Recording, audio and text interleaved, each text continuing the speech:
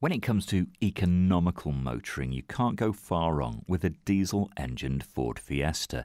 Now, these cars are supremely economical. You know, on the move, depending on how you're driving it, you can get around 68 miles per gallon. So, this is affordable motoring and it's in a very nicely designed package. The Fiesta is a compact car, but surprisingly big on the inside and very nicely appointed this one is too.